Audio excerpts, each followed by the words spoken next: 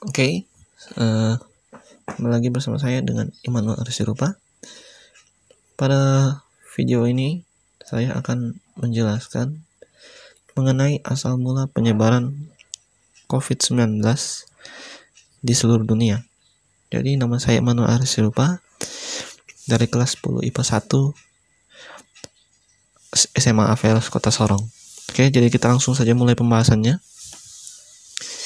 Oke, jadi kita pertama bahas mengap, uh, dari mana semua ini berasal karena pasti timbul pertanyaan pertama yang pasti kalau bertanya mengenai asal mula pasti selalu bertanya asal mula. Ya, maksudnya dari mana semua berasal. Jadi semuanya ini mulai berawal pada 31 Desember 2019. Itu kemungkinan pertama ya. Jadi uh, probabilitas pertama semuanya berawal dari beberapa orang pedagang yang dilaporkan mengidap pneumonia misterius. Jadi pneumonia ini singkat cerita adalah penyakit di mana ada cairan yang terisi dalam alveolus manusia. Nah, ini mulanya dari tanggal 31 Desember 2019.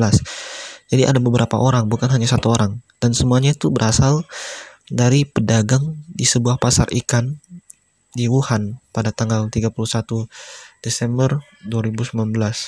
Kemudian Kemungkinan kedua itu sebenarnya sudah sejak dari 8 Desember 2019 ketika ada uh, seorang dokter melaporkan kasus ini pertama kali namun disembunyikan oleh pemerintah Tiongkok ya.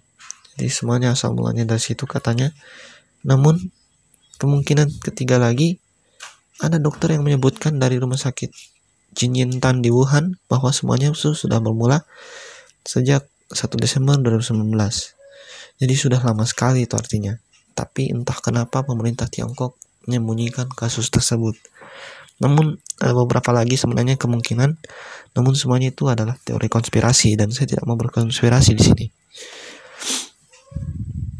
Nah, kemudian kita akan membahas mengenai kapan mulai kasus ini mewabah. Jadi Sebenarnya ini sudah mulai mewabah di Cina sendiri atau di Tiongkok sejak Desember 2019 dan kasus ini mewabah bukan dengan pertumbuhan secara linear atau garis lurus atau teratur. Namun ini mewabah meningkat secara eksponen, artinya berlipat ganda dalam satu hari. Jadi misalnya satu hari tambah dua orang, pada hari berikutnya tambah jadi empat orang, hari berikutnya delapan dan seterusnya. Secara eksponen dia meningkat. Artinya ini mewabahnya sudah parah sekali ya di Cina sendiri. Nah, akan tetapi yang parahnya Cina baru berani melaporkannya secara teratur sejak 3 Januari, bukannya sejak dulu ya. Jadi itu parah sekali. Dan itu mulai jadi kasus global serius menjadi, kasus global yang serius sejak Thailand melaporkan kasusnya pada 13 Januari 2020. Itu artinya Thailand merupakan negara pertama bukan dari Cina, maksudnya negara pertama di luar Cina atau selain Cina yang melaporkan penyakit COVID-19 ini. Ini yang pertama kali. Dan kasus pertama di Eropa itu mulai setelah Thailand itu dimulai pada tanggal 20, 25 Januari. Begitu juga dengan Australia pada hari yang sama.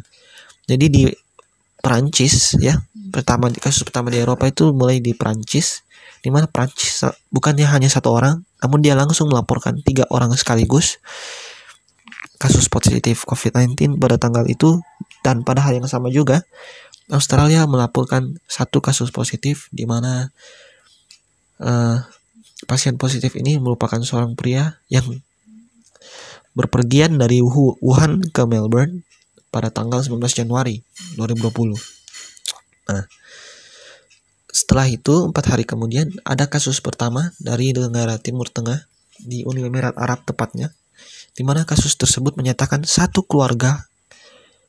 Nah, ini adalah kasus pertama di mana satu keluarga terkena ya. Jadi satu keluarga isinya empat orang dilaporkan positif COVID-19. Nah, kemudian kita akan membahas sejak kapan pandemi ini menelan korban. Jadi, uh, penyakit ini mulai menelan korban pertama Nah, ini memang laporan yang jujur pada tanggal 11 Januari 11 Januari 2020 di mana kasus per kematian pertama ini adalah seorang pria dari Wuhan ya di mana pria ini selama hidupnya bekerja di stasiun dekat pasar ikan Wuhan tersebut. Nah, kemudian yang kedua, kasus pertama kematian COVID-19 di luar Tiongkok atau di luar asal pandemi ini. Jadi yang jelas pandemi ini bermula, memang bermula dari Tiongkok ya. Nah, dan memang dari Wuhan. Nah, kematian pertama di luar Tiongkok akibat pandemi ini adalah di Filipina pada tanggal 2 Februari 2020 di mana korban yang meninggal ini diketahui pernah kontak dengan seorang wanita yang merupakan pasien pertama positif COVID-19 di Filipina dan yang meninggal ini adalah warga negara Tiongkok juga. Dan yang ketiga, kita akan membahas mengenai kematian terbesar pertamanya. Jadi kematian terbesar pertama kasus ini itu bermula di Spanyol dan Italia. Di mana pada hari yang sama mereka melaporkan kasus kematian terbesarnya itu pada tanggal 28 Maret 2020. Dan dalam satu hari, ternyata pada saat itu Spanyol melaporkan 832 orang meninggal akibat COVID-19 dan Italia melaporkan 889 orang meninggal akibat COVID-19. Ini artinya sangat besar sekali dalam satu hari bisa langsung sampai 800-an orang meninggal akibat COVID-19 ini. Jadi bisa dibilang COVID-19 ini cukup mematikan meskipun sebenarnya virus ini masih lebih lemah dibanding SARS yang lain tapi sudah cukup mematikan. Dan kemudian ada kasus kematian bayi pertama akibat COVID-19 dan ini mengejutkan dunia dan membuka mata dunia bahwa COVID-19 ini tidak memandang umur dia menyerangnya. Dia itu bisa saja menyerang bayi dan bayi pun yang baru berusia 6 minggu meninggal akibat COVID-19 ini. Kasus ini terjadi di Amerika Serikat pada tanggal uh, eh, 1 April dan kasus kematian terbesar dalam sehari itu terjadi lagi di Amerika Serikat pada 10 April yaitu satu hari Amerika melaporkan 2000 kasus kematian sekaligus pada 10 April 2020 sangat besar. Nah, mayoritas penyebab penularan COVID-19 ini yang pertama adalah pasien positif pernah kontak dengan pasiennya langsung juga.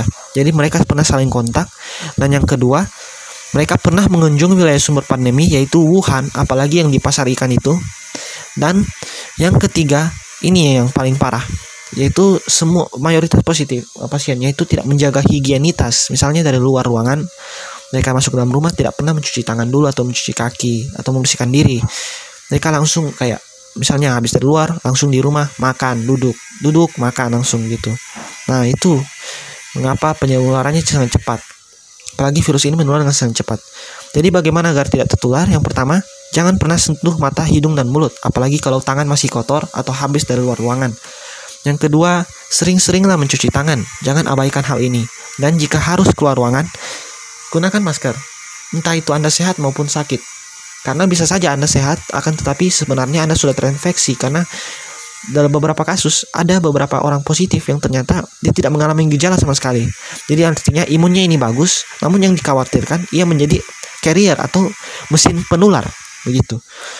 Dan yang ketiga, jangan pernah melakukan kontak langsung dengan siapa pun. Ganti salaman dengan tangan yang Anda biasa lakukan mungkin dengan salam namaste atau jangan lagi melakukan uh, kontak langsung begitu dan hindari keramaian atau jaga jarak. Dan yang terakhir, jaga imunitas tubuh selalu, senantiasa makan makanan sehat bergizi, tidur teratur dan patuhilah aturan pemerintah dengan stay at home. Jadi jangan barbar ya. Ikuti aturan pemerintah. Oke, jadi terima kasih atas perhatiannya dan demikianlah presentasi saya ini. Semoga kita semua senantiasa dalam keadaan sehat. Terima kasih.